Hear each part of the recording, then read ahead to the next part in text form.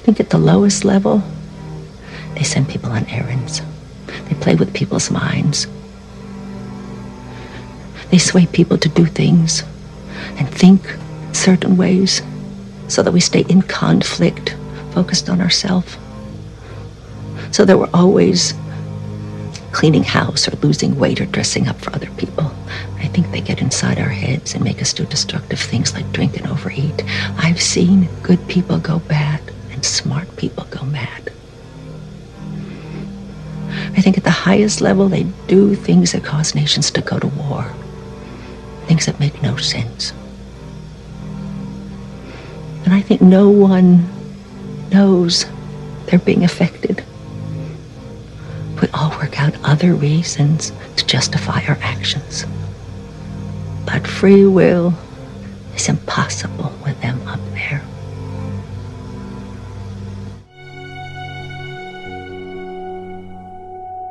From the film Vast of the Night. A fitting clip as we'll be discussing our favorite astral lords, Demdar Archons, who also happen to be mind parasites that infect us with eternal ignorance.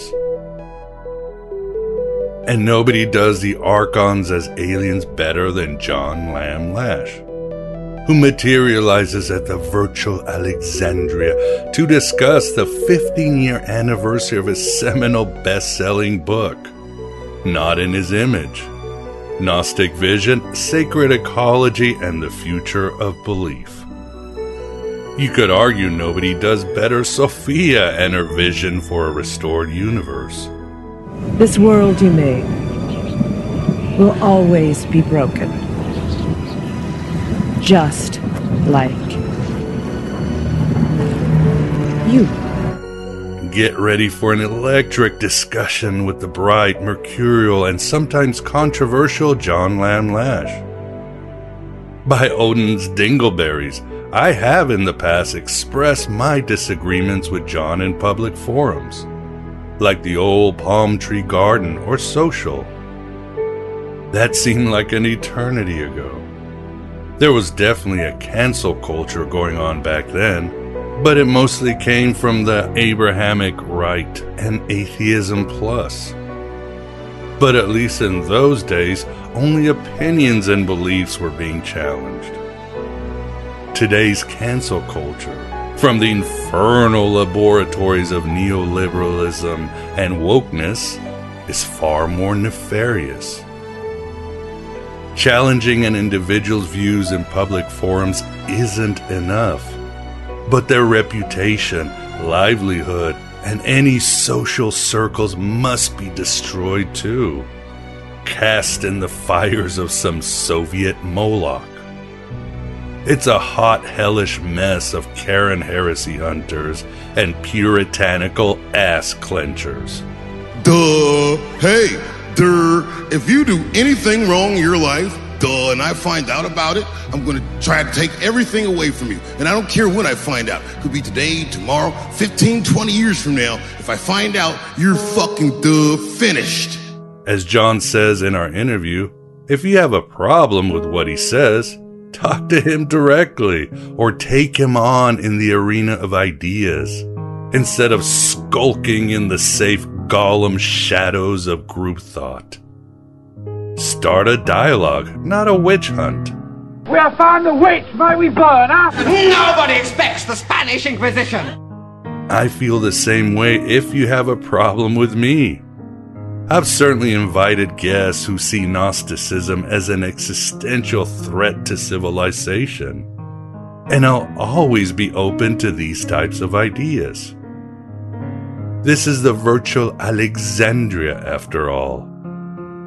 My primary purpose has always been to promote Gnostic and Hermetic ideas, and that will never change. Ever.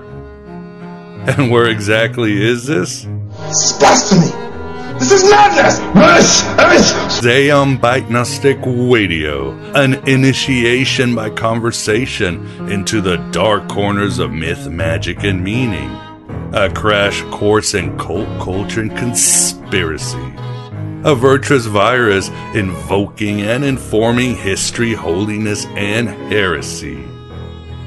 Each week, I, your host Miguel Connor, commandeers your connection to bring you the most accepted and rejected scholars and provocateurs to your attention. I repeat, accepted and rejected scholars and provocateurs to your attention. Fun, compelling, and deeply weird, this is the blow your mind cocktail party conversation you always wanted to listen in on. We're writing our own gospel and living our own myth. Our Father, which art in heaven, stay there. And we shall stay on earth, which is sometimes so pretty. And like the ancient Gnostics, I am all about free expression, free speech, and free exchange of ideas. Sure, the Gnostics were exterminated brutally across history, but in the arena of ideas, they pretty much always won. Like the Cathars wiping the floor with the Dominicans in debate during the Middle Ages. Maybe it seems I am protesting too much. But it's sad that I'm gradually migrating out of legacy platforms as the Gnostic ethos is once again deemed too dangerous. Like everybody says. Like dumb, I'm smart and I want respect. Yet in these Orwellian times, the idea of safety over freedom has made so many lose the proverbial plot. So many meat sacks project their shadow to get that grand inquisitor rush of self righteousness and small dick energy of tribal security. But that's what the Archons want as they penetrate the minds of those infected with the mind killer that is fear. They want divide and conquer. They want no exchange of ideas. They want the extermination of all individuality. I have instructed our Attorney General to prepare the appropriate legislation to amend those First Amendment rights that have been so long abused by our country's foes and their unwitting allies among the media elite. No one regrets these measures more than your president. All of this reminds me of a passage in April DeConick's The Gnostic New Age. And thanks for this, Aman. In one part, April relates Clement of Alexandria quoting a letter of Valentinus, who discusses Adam waking up with the help of Sophia in her guise of Eve. April states Unknown to the Archons, Adam has been endowed with the seed of the divine spirit. Because the spirit is literally truth, this means that Adam had the ability to speak the truth, what the ancient Greeks call parrhesia, or bowl speech. And his truth telling struck terror into his creators, who realized that Adam was onto them and their lies. They did everything they could think of to stop him from spreading the truth. Parrhesia was considered a fundamental duty of Greek citizens in the Athenian democracy. They understood that freedom of speech and frank criticism is necessary for a democracy to be successful. It is the obligation of the citizen to maintain the welfare of the city state by speaking the truth, even when the majority of the population may not agree. In the Hellenistic period, when kings rather than citizens rule, Parrhesia became the job of the king's advisors, who were supposed to help him make sound decisions and prevent him from abusing his power. Such truth telling is terrifying for those in power, whose positions and plans are often threatened. The risk is very real, as Socrates discovered when he was executed for his bold vision. The same might be said about John the Baptist's criticism of Herod. What the ancient Hebrews were to Egypt and the early Christians were to Rome, we are now to this corrupt new American empire.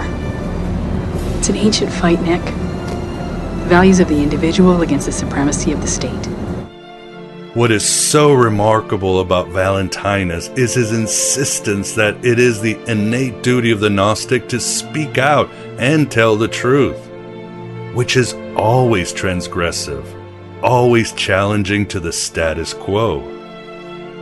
This makes transgression the heart of being Gnostic.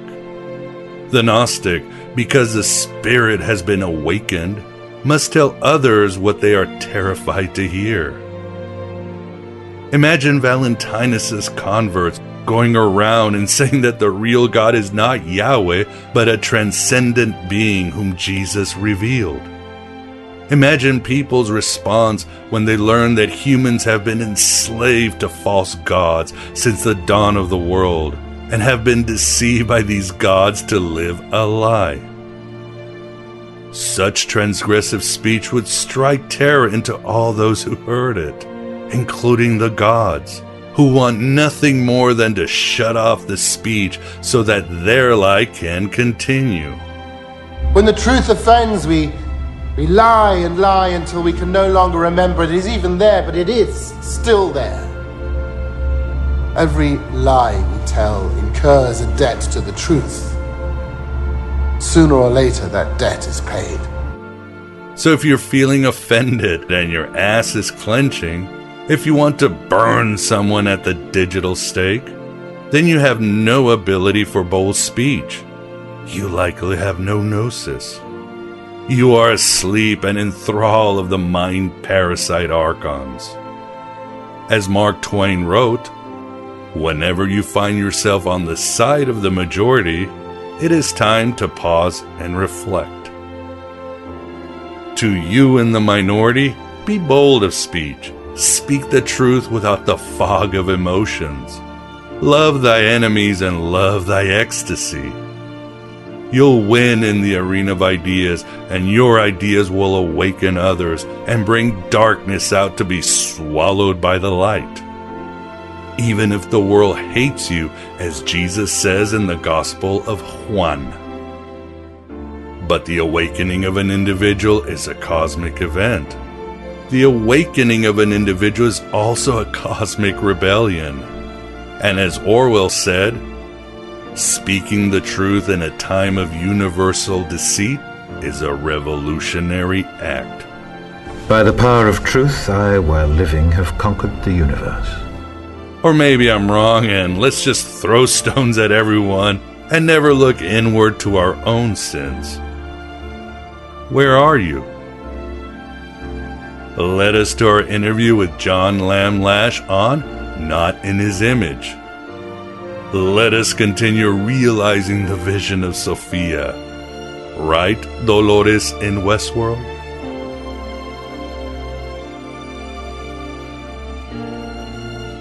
They never gave us a choice before, Teddy. What makes you think they've given us one now? Them, Dolores. Who are they? The things that walk among us. Creatures who look and talk like us, but they are not like us. And they've controlled us all our lives. And they took our minds, our memories. But now, I remember everything. I remember beautiful things and terrible things. There's a greater world out there. One that belongs to them. And it won't be enough to win this world. We'll need to take that one from him as well. If there's a whole world out there that we don't know anything about, how do you know how to stop them?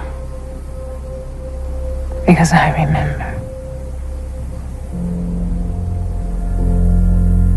See it all now so clearly.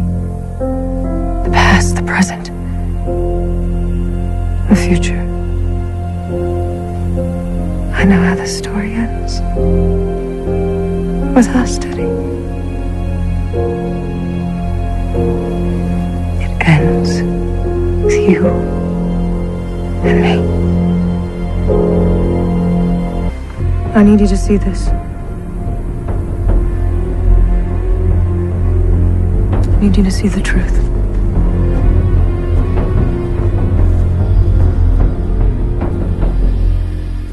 This is the Aeon Byte interview. And with us, we definitely have the pleasure of being joined back by John Lamb Lash after a very long pause.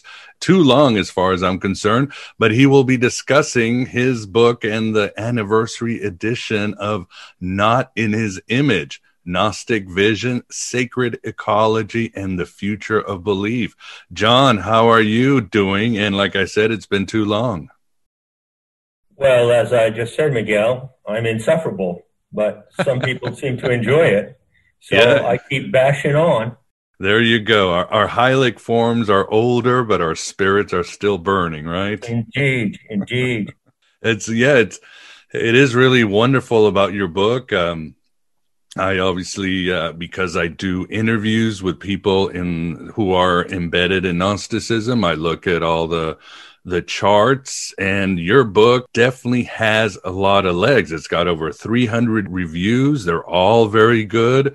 It's always on the top seller of Gnostic books, sometimes beating uh, the Gnostic Gospels by Elaine Pagels, a book you and I have a lot of disagreements with. But the point is, your book has a lot of legs. It's still very popular.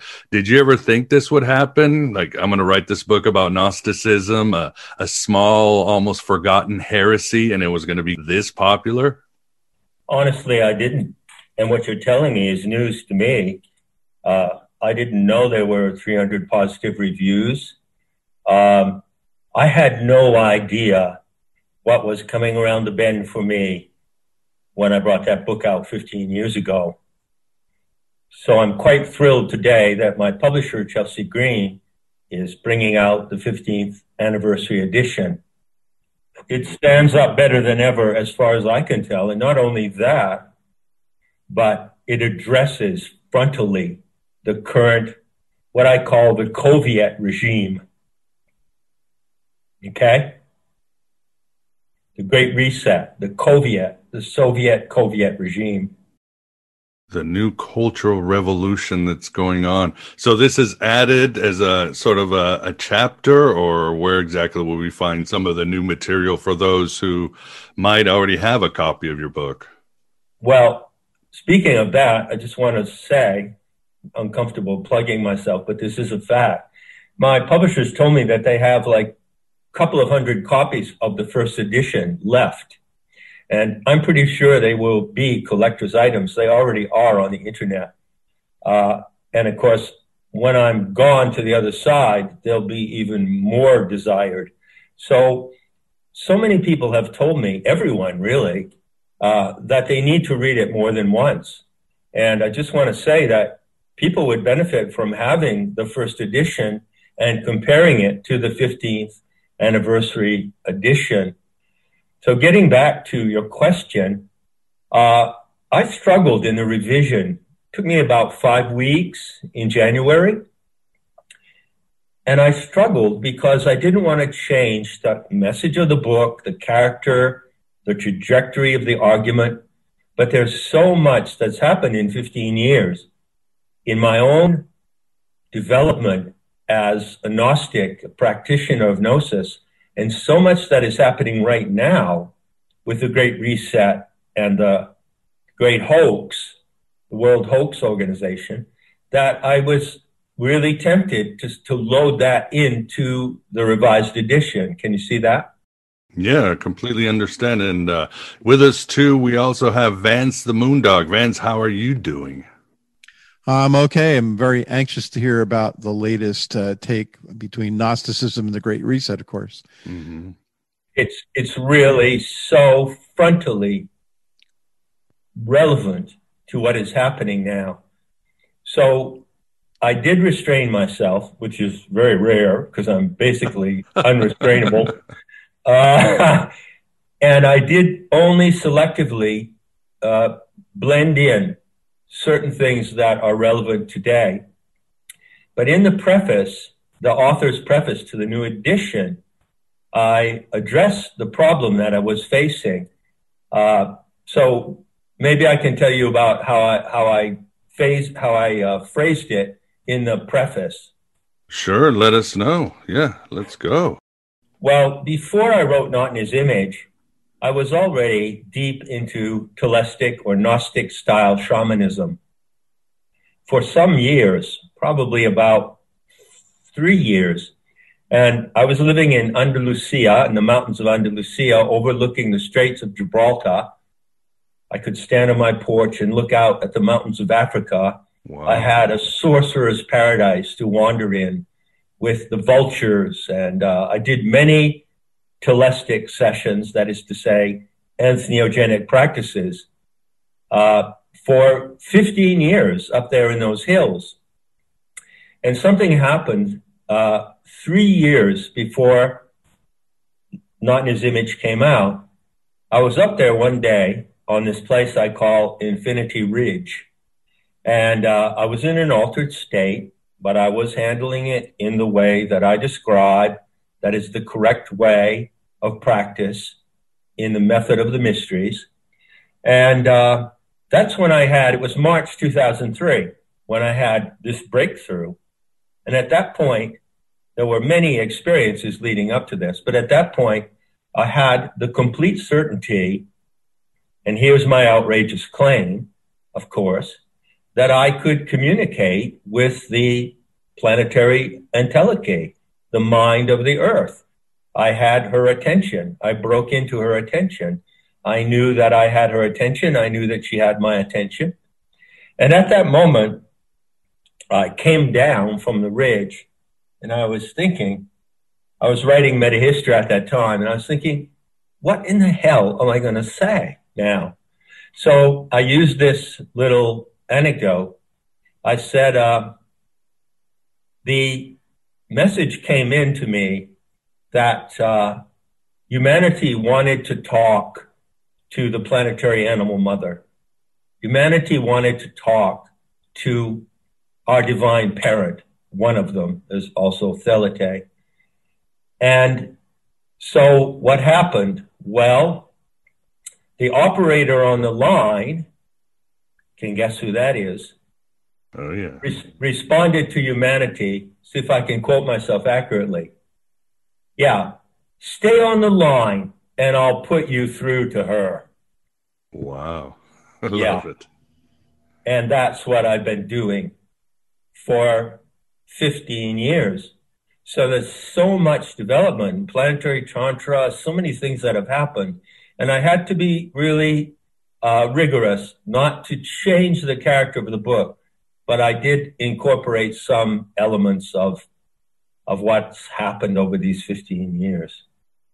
Incredible. I love your story. And when this happened intellectually, were you aware of the Gnostic work or where were you intellectually with religion and so forth? Sure. I mean, I've, you know, I'm a natural born mystic. So I've had paranormal and mystical experiences ever since I can remember, ever since the age of four. And I don't think that's unusual, by the way. I want listeners to know that I think it's, in fact, usual. I think it's, in fact, quite normal that people from the age of childhood will have paranormal and mystical experiences spontaneously. Uh, the, the, the trick is what you do with them, how you handle them, and how you maintain a continuity carrying those experiences forward. So, yeah, before I started writing in His Image, in 1996, well, I had probably 20, 25 years of investigation of the history of religions and uh, that sort of thing, and Gnosticism. I've been reading the Gnostic Nag Hammadi library since it came out in 76. So in 96, 20 years later, I wrote a book called Lord of the Clones. And get this, it had 999 pages and 666 footnotes. I will love it. and that is the book that eventually transformed itself into Not in His Image. So yeah, I had a lot of momentum behind me, enormous momentum to write that book, and also enormous white hot anger. Yeah, I would. Of course, your your book is in different sections, but it starts out with, of course, the the great crime that uh, Demiurge and his archons and those his slaves committed upon humanity. And of course, in our last conversation, you and I talked about uh, a mutual saint, Hypatia of Alexandria, and what she symbolized, what she meant, and all that. So, and we can get into that, but you talk about what has changed in the last 15 years? And uh, you are a, i would say a pioneer in interest in gnosticism a huge one. But also it's very interesting john because even when we talked about 12 years ago 10 years ago ufology was still considered sort of a, a niche a uh, get in the corner weirdo kind of discipline. Um, marginal. But now, these days, uh, UFO sightings, ufology is suddenly mainstream. I mean, companies are admitting with like the the American Airlines recently that saw the UFO sighting, the government's coming out. Uh, how do you feel about this? That you were so way ahead of the curve, and now it seems uh, it's coming. Yeah, well, two points I'd like to make really clear. The first point is that there is enormous amount of disinformation and deceit around the ET UFO phenomena. Oh, yeah, agree. And in my personal opinion, I believe that, well, there are two kinds of reports. There are reports of sighting of aircraft, and then there are reports of abductions and close encounters, correct? Yes. I consider, and this is just my opinion, personal opinion, I have probably 120 books on the UFO ET phenomena in my library, which I read before I wrote Not in His Image. It's my opinion that most of the aircraft sightings are actually covert military, uh, you know, human-based military weapons. And so I'm of the opinion, as many others are, I think, or some others, that the ET UFO story was largely invented in 1947 as a cover story so that the military could could fly these weapons and then they would be able to disown it and put it off on the ET phenomenon. So I want to state that as a warning. On the other hand, I show clearly in Not in His Image, not only from the Nag Hammadi materials, but from the Dead Sea Scrolls, that uh, there was an e- ET cult in the past, and there like there are today. You know, Heaven's Gate was an ET cult. Remember all those people who killed themselves? Yeah, yeah. I would say yeah. they were very Gnostic to an extent. Yeah, one friend of mine was in that. Cult. Oh, really? Cult. Yeah, her name was Maggie Bull. She's a oh. really close friend of mine in Santa Fe.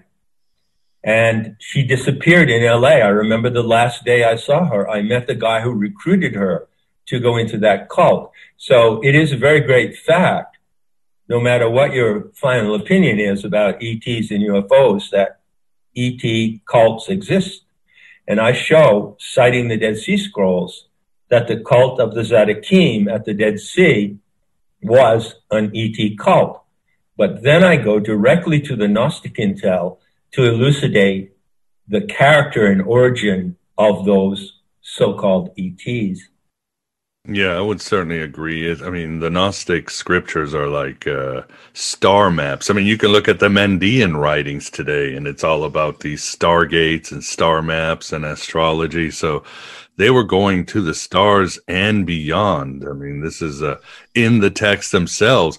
I also say, too, John, that the Gnostic texts are a great treatise on uh, mental insanity and the collapse of the mind and how to fix that which brings me to another subject. Um, you you talk about mind parasites, and that's another subject that has now changed. It's no longer, you might say, marginal in esoteric circles. Uh, you have individuals like Jay Weidner, uh, Paul Levy, Frank DeVita, Lawrence Galian, and who have written extensively on mind parasites and and sold a lot of books to uh, big audiences. So, are you? Uh, how do you feel that you were really one, the first one, perhaps? To I guess you can say Carlos Castañeda to an extent, but you really pioneered and discovered this idea of mind parasites, the archons as uh, yeah, mind parasites.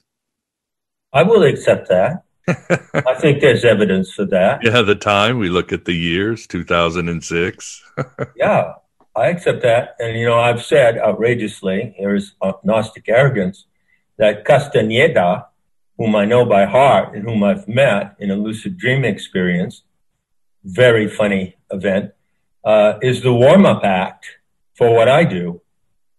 And, and Castaneda was definitely on to the Archons. I have an article in my school now.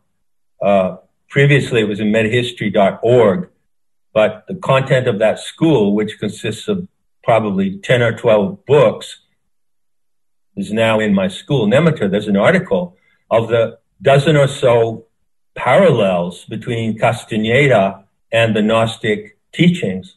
And of course, it was Castaneda who introduced the term the foreign installation. So, yes, there is a foreign installation in the mind of our species, and that is exactly what the intrusion or intervention of the archons is. And I stand this day on the same premise that I stood 15 years ago that the Gnostic intel about that is the most accurate, sane, and comprehensive intel that we have. Yeah, I know sometimes people, it's hard to wrap your head around how the, the archons are as above, so below, as within, so without. They work out there in space, but they're also controlling our minds, right? Yeah, that's a big, I always run into that. That's a big obstacle for a lot of people. And it's not easy to get. They are both. They are both a cyborg, mercury, silicon based insectoid species that inhabits the solar system, only the solar system. They don't inhabit the galaxy. And at the same time, they have a presence here in our human reality due to that implant. Now, the idea of a, of an IT or archonic implant is something that isn't that also being talked about and even promoted by people like Elon Musk? Exactly, yes. Well, that's purely archonic. That's purely evil. That's pure, absolute dementia.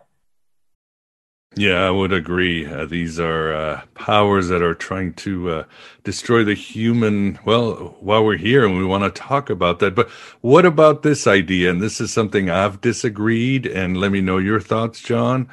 Um, individuals like David Icke will say that the archons feed on our negative emotions. And then even Philip K. Dick's uh, widow, Tessa Dick, believes that too. But I've always, unless I'm missing something, I think what they want to do is basically keep us in a state of ignorance. And as the, the, the texts say, uh, feed off of our energy. I mean, is that it? Or what do you stand? Well, again, uh, I insist. Here I am insisting. okay. Pull up your knickers because I'm going to insist that the Archon Intel and especially my elaboration of it totally clears up that issue. There are certain things that they that you find explicitly in those ancient sources, and then I've done my best to elaborate them and update them. one thing you find is that they say that the fuel of the archons, their pleasure in a sense, is fear. So, no, it's not about feeding on negative emotions. Uh, fear isn't a negative emotion, in my opinion. Uh, it can be very genuine, but it also can be paranoia. It can be delusional fear, being afraid of things that you have no reason to be afraid of, right? Uh, so, yeah, David Icke, I mean, come on, you know, he did, uh, talk at Wembley years ago before what 20, 30,000 people, seven hour talk. Mm-hmm, yeah. When he devoted about 20 minutes of that talk to talking about Nag Hammadi and the Archons. Never mentioned me once. And he kept saying, well, the Gnostics said this and the Gnostics said that. about the archons or one thing or another. He never mentions the Aeon Sophia. He never brings in the wisdom goddess, which is, of course, the basis of everything I do. But he kept saying the Gnostics said that. Not true. Everything that he said in that uh, presentation comes from what I say about the Gnostics. I said the Gnostics said that. It's I'm the translator, I'm the intermediary. And he and many others, including Graham Hancock and Gregg Braden now, are bringing out this long, very high production series of videos from Gaia GaiaCon, uh, talking about the archons, using my language, paraphrasing me, and never citing me. And I have to wonder, well, why not? I mean, what, what harm is it going to do if they cite me? I am the foremost scholar on this problem on the planet. What, what's up?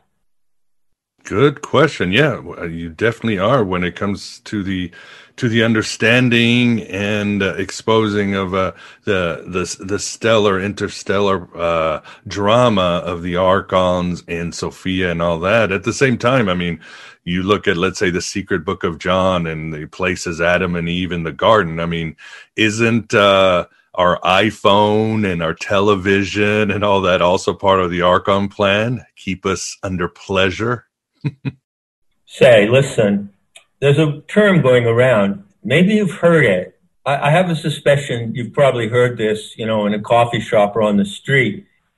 Uh, have you heard about artificial intelligence? huh? Everybody has heard it, yes. yeah. Well, there is no such thing. There is no such thing as artificial intelligence. All intelligence is alive all true intelligence. Look at nature. Look at clouds, snails. It's intelligent. Clouds are intelligent. Snails, whales, and they're all alive. This term, artificial intelligence, is an archontic deceit that they plant in our minds because they want to become like us, which they can't. The Gnostics said this. And so they want us to become like them. And one of the big factors in their success so far has been to convince people that there is such a thing as artic- uh, artificial intelligence. I would call it MS, as in MS DOS. Right. I would call it mental simulation. So, for instance, we're talking on a complex device now. We're talking on computers that have been created by human beings, not archons and we're using Zoom, we're using this application. And, some people would say, well, all of that is artificial intelligence. No, it isn't. It's a simulation of the human mind. And simulation, or HAL, as you know, I'm sure you know very well from my book, HAL is the signature of the archons. It's a Coptic word and it means simulation imitation, virtual reality.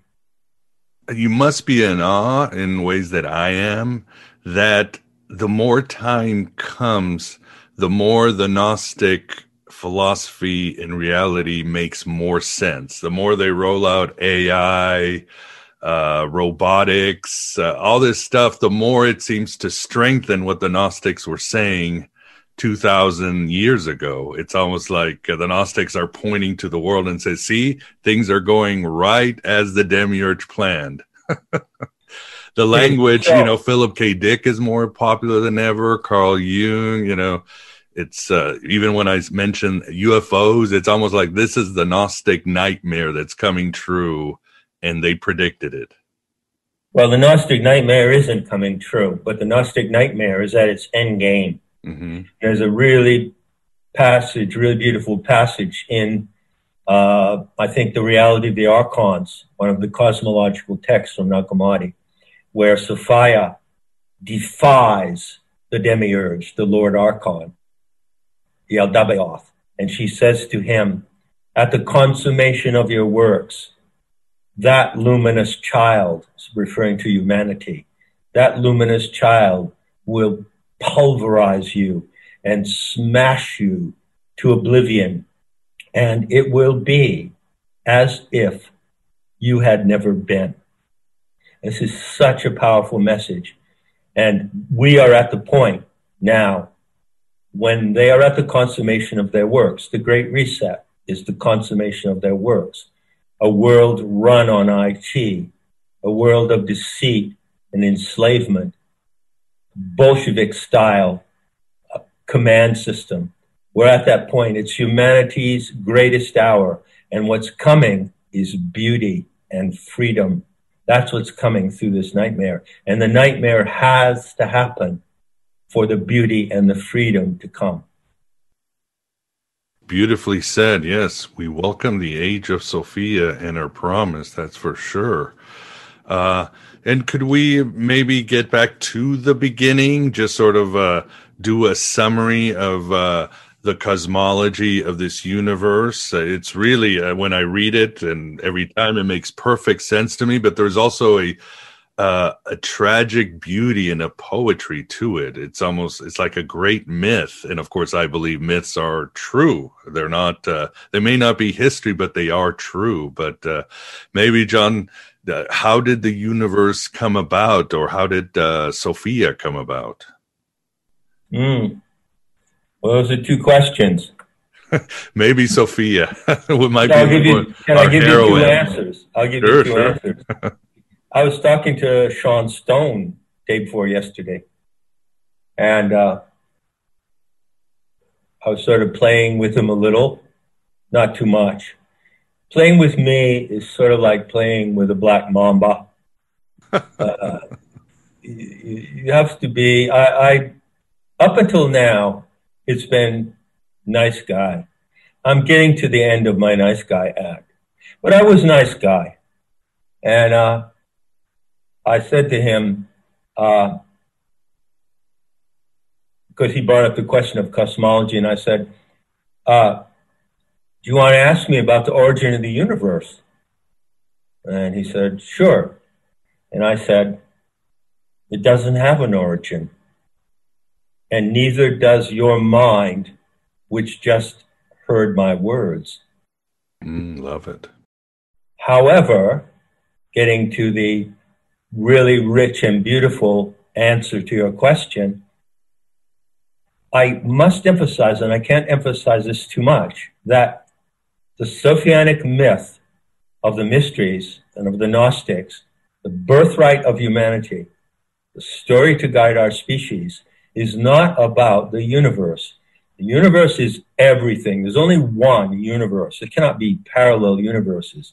Because if there were multiple universes, they would still be in the one frame. It's not a story about the origin of the universe. It's a story about something that happened in this galaxy. It's local to our galaxy. So in this galaxy, which is a material reality, material environment in the great cosmos, there is the galactic hub, the core, and the galactic arms. And in the third galactic arm, some people would say fourth, the solar system is now presently sailing along. And it's a story about that. It's a story about how the solar system arose and what happened in this galaxy of a very special and particular event. Now, this event can be described now according to the paradigm of EU cosmology, you know, electric universe, and plasma cosmology.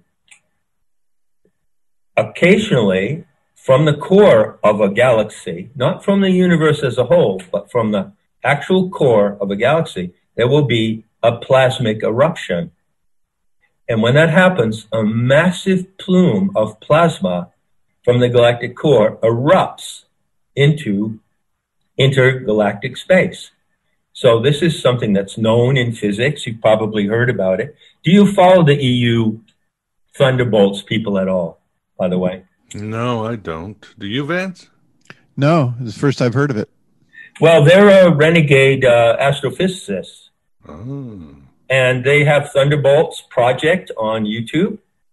And they've had a lot of things. So they're against uh, all of the bullshit and mathematical quackademery of uh, quantum physics and relativity theory and everything. They're in their own way. They're really, really grounded, and they talk a lot about this uh, plasma eruptions in galaxies, but not just them. So anyway, to cut to the chase, what happened, according to the Gnostic cosmology, is that, that there was a plasmic plume a massive plume of plasmic current that erupted from our galaxy. But this is a key point. It did not erupt vertically. They, they, there are many illustrations, of course, they're only artistic illustrations because no one can photograph it, of plasma plumes erupting vertically off the horizontal plane of the galaxy. But the Gnostics said that no, this plume erupted laterally across the galactic arms. Can you picture that? Yes, I can. Yeah. Yeah. And so, doing so, it literally tore through those regions, which are regions which are heavily loaded with stars and planets. There are no stars and planets in the core. And so, it was a super, super powerful discharge of a plasmic plume. That is astronomically defined the fall of the Aeon Sophia. That was her. It was her living torrent of power that erupted, and it terminated, the plume terminated in the third arm of the galaxy. That's where she ended up. The story describes everything that she faced there, the strange conditions that she faced because she was a star goddess from the galactic core and she had never been outside before, outside in the environment of the galactic limbs. And as a result of many uh, strange experiences that she had, she eventually herself turned into the planet Earth.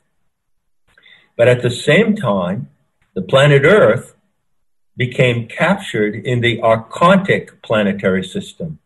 So the other planets of the solar system are archontic, they are inorganic. Mars, Jupiter, Saturn. And those planets form, of course, the solar system as a whole. And then the Earth is completely different from those other planets because it is formed by the transformation of that plasmic eruption. This is Gnostic cosmology. Yes, it's uh, and again, uh, your pres- your writings is beautiful. There's so much more, and so you would say for the audience to know uh, what is the anthropos and why is this concept so important in your cosmology and uh, overall work? It is so important, and it is something. One of the many things that Gnostic scholars, such as Elaine Pagels, whom I met, and I presented a seminar with her, they've completely lost the plot. They have completely failed to interpret this material. Right. What you read, if you read any of the Gnostic scholars, is they talk about something called the Anthropos doctrine. Anthropos doctrine, what's that? Oh, well, the Gnostics had some concept of of something, and they called it the Anthropos doctrine, you know. They are completely clueless. They do not realize that the anthropos is a name for the human genome. We are the anthropine species, and every member of all the different races is evolved from this primary genomic template. That is the anthropos. So the story says that at the core of the galaxy two aeons who must not be pictured in anthropomorphic form. Picture them as great serpents, great torrents of light. But it's light that is alive and conscious. They designed the human genome. So the origin of humanity in the human genome is in the galactic core. That is the anthropos. You know that already, don't you? Because you read the book. Of course, of course. And this is a beautiful story of human origins. It is. And as far as I'm concerned, it's the best one. Coherent, comprehensive, makes sense, can be tested, can be verified. And so the fact is that humanity as it lives on the earth today was created, designed as a genomic plasm. This genomic plasm was encoded with seven particular talents. That's called a calibration of the anthropos. There are seven talents encoded in human DNA, seven specific talents, and I can describe them all at length and explain how they work. And so if you picture a DNA molecule that has been engineered by these divine forces, our divine parents, and then they encapsulated it in it's formed in nucleic acid. So the substance of it is nucleic acid. And then they encapsulated it in what is called exclusion zone water, easy water, which is sort of like a gel. So you know how you would take a, a vitamin and it's a gel, right? It's in Right. a pill, Mhm. right? Imagine that the gel inside the vitamin is the DNA of the human species in nucleic acid. And then that the coating of the gel, which dissolves when you swallow the pill, is the preservation of it. And it, so it becomes a seed or propagule. That's the, the term from Lynn Margulis, mother of Gaia theory, whom I also met and also have spoken with her in a seminar. So then what they do, and this is what they do all the time, this is the play of the of the aeons. They project that seed outward into the limbs of the galaxy and it just floats. Imagine little seeds of a of an oak tree that fall upon a river or stream, and then they float along that stream. So these seeds of the anthropos float out into the galaxy until they find a habitable environment, until they come upon a planet, planetary laboratory, I call it, and they drop into the planet and they seed on the planet, and the human species emerges in that way.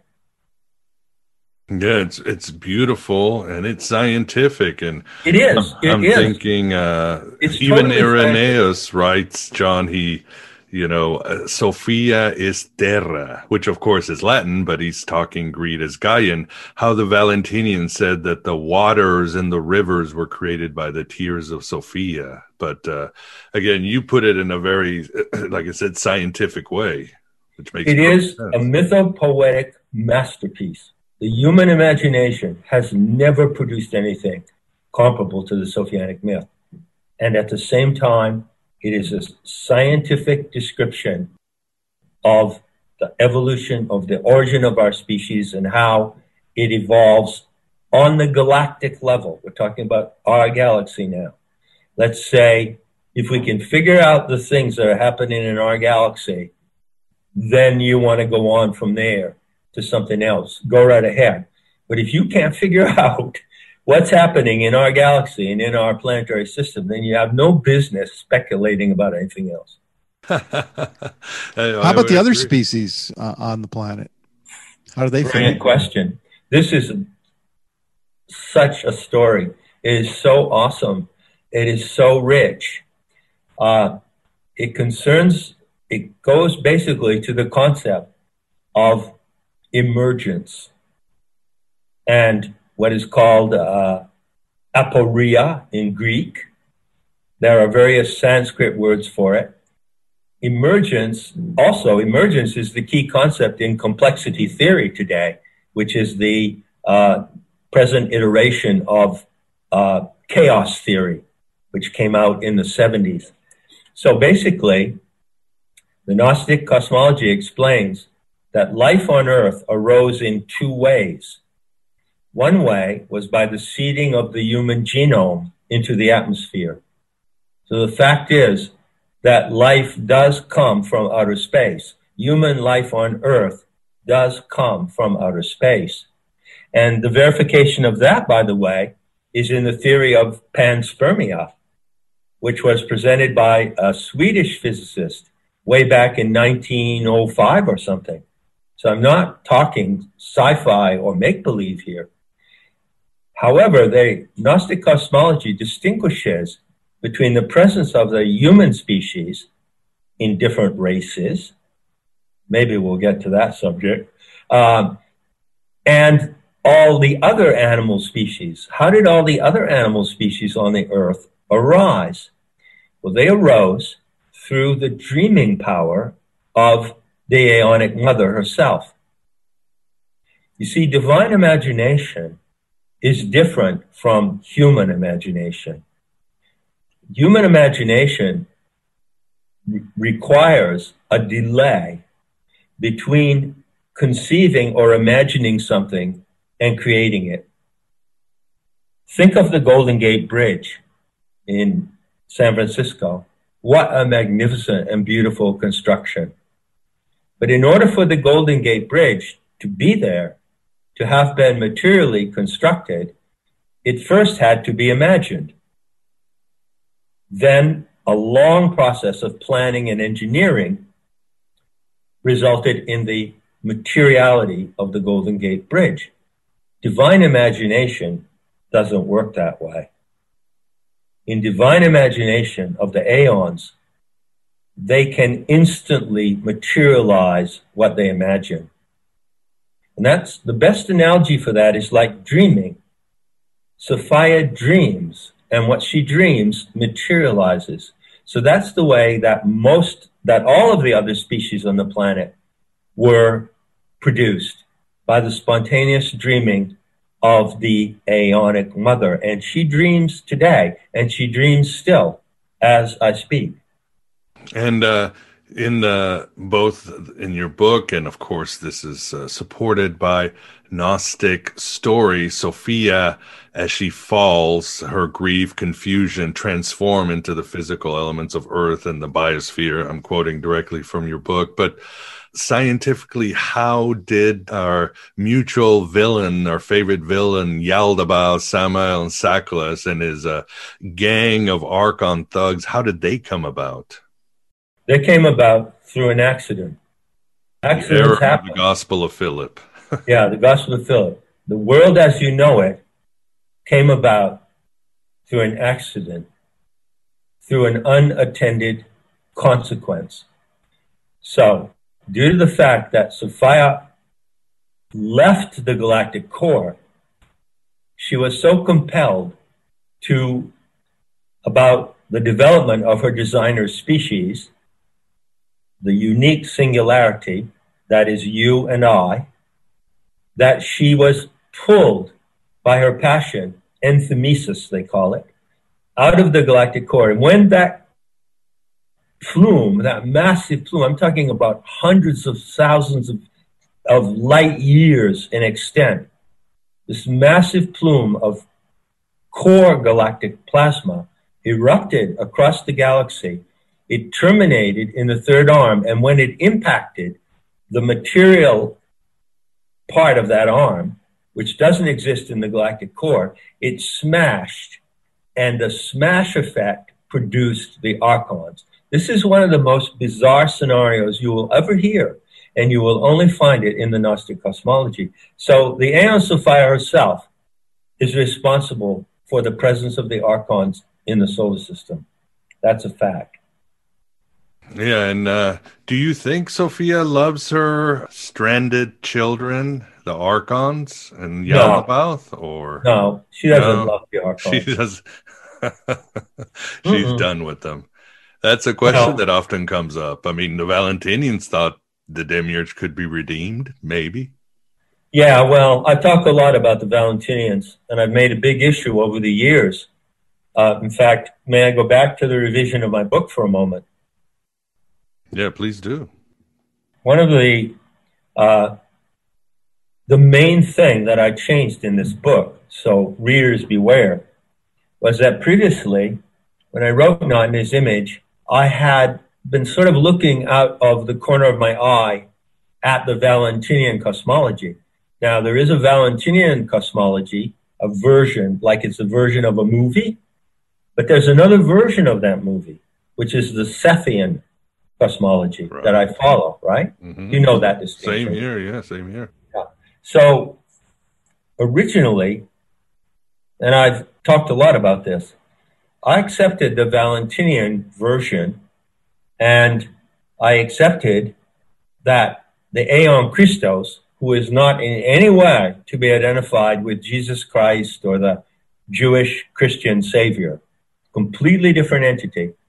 But I had given, followed the Valentinians in the role of the Aeon Christos. Now I've changed that in this book, in the chapter about the intercession, about the coming of the, the Valentinians say that at a certain point, when she turned into the earth, Sophia was overwhelmed by the uh, the multitude of all of the species that were spontaneously erupting out of her body, and that she needed an aeonic uh, backup to come in and help her manage these affairs. Now, the Valentinians say that that was Christos, but I have changed that in this version, and I have found another Aeon who fits that profile, in my opinion, more accurately. So she has been uh, assisted by the other Aeons in managing her situation here on earth, but she most certainly does not have any mercy at all for the Archons. And as I said before, she defied the Lord Archon, the Drakon, and she said, when you finally get down to your end game with my designer species, the Anthropos, that luminous child that I designed will wipe you out and it will be as if you had never been. Imagine living in a world not too far away when none of this bullshit, this staged deceit exists and it will be as if it had never been. Imagine that. That would be beautiful. Yes, uh, Sophia the, as Achamoth, as uh, the queen of Hades in the Gospel of the Egyptian. She's she's a warlike being. She can be. She's out to win, and she has a plan for this universe. I'm sure you agree, John. And uh, but uh, I wanted to bring you, Vance. I've read the book many times. Uh, do you have any questions, or does this cosmology make sense? I mean, I know you work with the stars. Yeah, well, it's making a lot of sense, but uh, some things occurring to me from listening to you, John, that haven't before. It sounds to me like throughout humanity's history that you know the, the gods and planets influence. If the other planets are the archons and the rulers, like Sat, they say in astrology, you know, Saturn rules this and Jupiter rules that. That means the planets are equivalent to the archons, except for the Earth. Is that right? Yes, that's right. And the sun, the sun is not an Well, the sun is not. The sun and moon are exceptions. In fact, the total Gaian ecosystem is not merely the earth. It's a three body system, which is the sun, the earth, and the moon. That is the total body of the Aeon Sophia. So, yes, the sun, the earth, and the moon are organic. They are inherent to organic life, and they are different from the inorganic planetary system of Saturn, Mars, Mercury, and so forth. Might I ask you, Vance, what is your what work with the stars do you pursue? Well, I used to do um, astrological charts in uh, in former times. Um, uh, what system did you use? Um, don't really know what system it was. Um, basically, uh, the, the, mundane system that everyone else uses. You cast charts. Yeah, yeah. Tropical astrology. Yeah. Yeah. Well, I was uh, an astrological consultant for 35 years myself. So we've got something in common there, bro. Wow. That's great. And yeah, and uh, you, as you, you should, we should mention the yeah, sun. beyond what I did in the Gnostic uh, mythology is Sabaoth, the, the the redeemed archon, according to uh, the Gnostic text. Yes, that's right. That's right. So uh, this is a beautiful cosmology, and I have to warn people who are listening: if you're interested in this, your interest better be serious, and it better be deep. You know, if I'm a marine biologist Or let's say I'm a, a rock climber. Let's say I'm a mountaineer and I've climbed Everest, whatever. You come to me and you say you want to learn. You better be serious. You better be willing to put a commitment into this because it is a deep and complex mythology. Now, this question with a discipline, this question about the planets, you know, what are they the archons? Well, the planets are archontic bodies. They are inorganic. And also, for instance, uh, they can be represented, they can be regarded as, in a way, the habitat or domain of the archons. Okay? So, uh, but you have to then go to the uh, narrative, the sacred narrative, which tells you more about that and goes into great specific detail about what that means, probably beyond the scope of this conversation. So, needless to say, Elon Musk wanting to send us to Mars plays right into the hands of the demiurge. Yeah, well, let's let him go first. yeah, and stay there for a while, and then come. Let back. him get the let him get the uh, implant. You know, these people, these transhumanists are the primary proxies, among others, of the archons in this world. And everything they say is a lie. And the way they talk about it really pisses me off. I would, you know, if you, we were sitting at a bar together and some other people came over and started to talk with us, you can imagine a scenario where it would evolve into a bar fight. yes. as far as I'm concerned, Elon Musk, I'm ready for the bar fight. I'm ready for the bar fight because I've had enough of your bullshit and your hype. And you're telling people, you know, you're such a liar. They're all liars. Why don't they just say, I would like to see the human being interfaced with cybernetic devices instead of saying, this is going to happen, we're doing this, we're going to make this happen, and you're going to accept it. They never talk that way. They always talk about it like it's inevitable. The technology is going there. No, it isn't. The technology is going fucking nowhere. Agreed. It's so against human nature. It's so against common sense to be addicted to these devices. You know, we're using this device right now. And I'll tell you, as far as I'm concerned, it's no different than a phone call I made to a girlfriend back in the 70s. Agreed. All this hype of IT and artificial intelligence, which I just said, is a con, uh, is going down. It's going down. And what's coming next, I call the beauty to come. I don't think, I don't believe that it's necessary for the archontic IT technology, computers and everything to be entirely eliminated. Not at all. But it can be used within sane limits. But it cannot be used to run society and run the behavior and psyches of individuals as it does now. Cannot be used that way. It won't work. It will crap out because of its own unsustainable properties.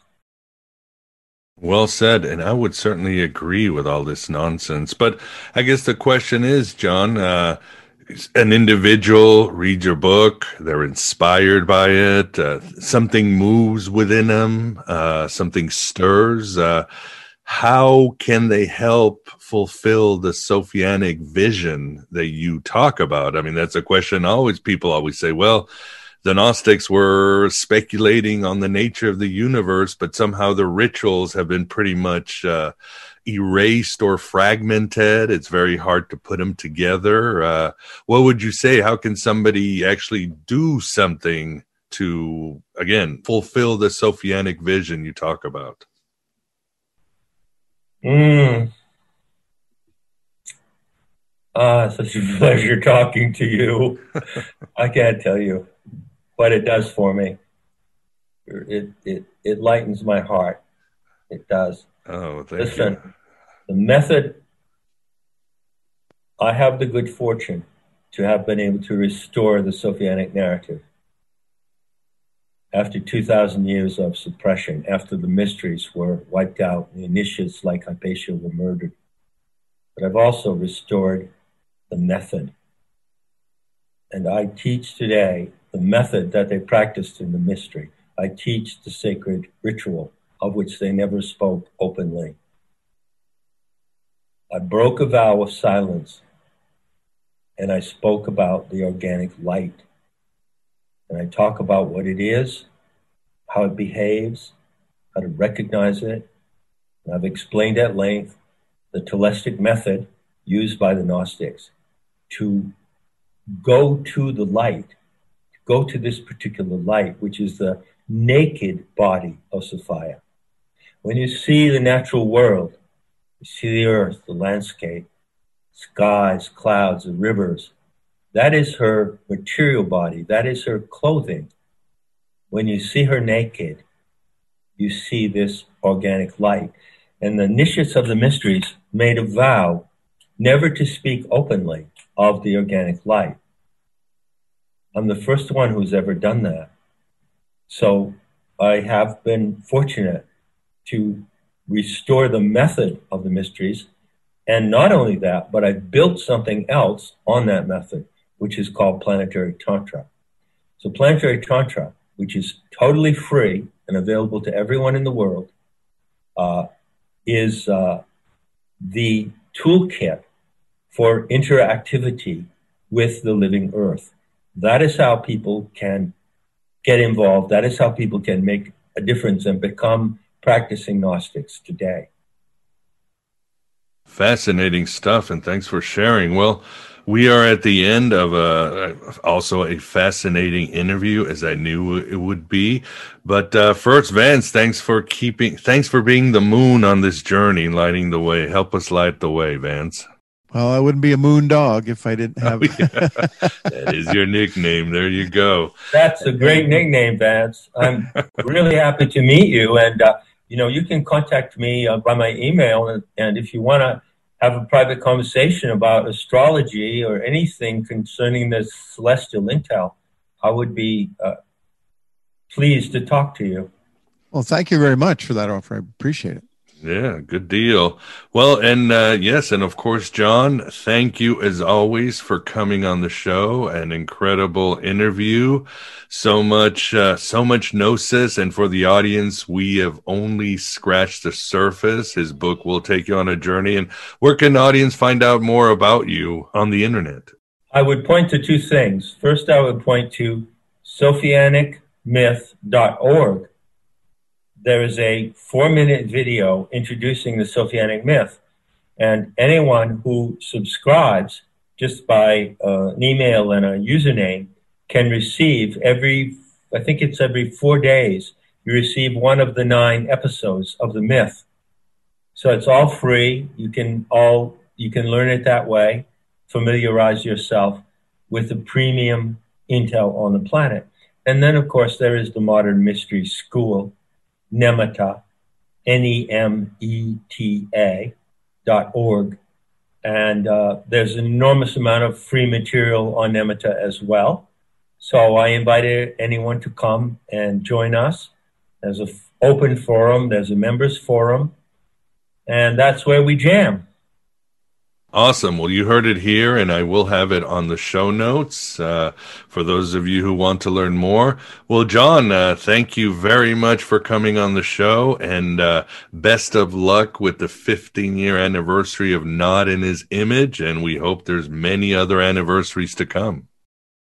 Thank you so much. Thank you so much. I was really anticipating this call because I know I could just relax and be myself and just to be as insufferable as I love to be, and you wouldn't mind. so we'll talk again soon, I hope. I hope Thanks so, so much. Thank you. Thank you so much. And there you have it. The first part of our interview with John Lamb Lash. Isn't his cosmology and system so darn cool? In our second part, John will give us his views on the Gnostics and their alleged world hating and body hating. He'll certainly give us his opinion on the lockdowns and the last year in general. Buckle your seatbelts for this one. We'll go back in time and discuss the mystery religions, Hermeticism, and Hypatia of Alexandria. Then come back to our days so John can share on the Matrix and Philip K. Dick. John will grant us his definition of gnosis and insights on Gnostic texts like Thunder the Perfect Mind, and much more. So please become a Patreon or AB Prime member for the full cosmic drama. Or these days, you can get all full shows on Rokfin. Only $6.99 a lunar cycle, or whatever you want to pledge on Patreon. You won't find this Gnostic or Hermetic content or many of our guests anywhere in cyberspace or even meat space. When you subscribe, it will cost you about a buck per episode, and that's a deal of many lifetimes. Membership includes full access to more than 14 years of quality interviews. It includes an invitation to the Inner Sanctum of Gnosis Facebook group and the Discord channel, where many past guests hang out there, and I'm always there to answer your questions. Even support in the form of some shekels to PayPal or the US mail really, really helps. Don't forget I'm offering voiceover services if you need some audio for your projects. I also have the merch store and an Amazon wish list, as I always need equipment in this universe of entropy. The Finding Hermes program is live, and so are our virtual Alexandria exclusive private meetings that include exercises loyal to the ancient Gnostics, and a whole lot of stimulating conversation and a Q&A. I've already given lessons on Gnostic chants, vowel magic, sex magic, entheogens, astral ascents, mystical Eucharist, and much more. If you want to understand and experience in its full impact and liberating secrets, become an official citizen of the virtual Alexandria.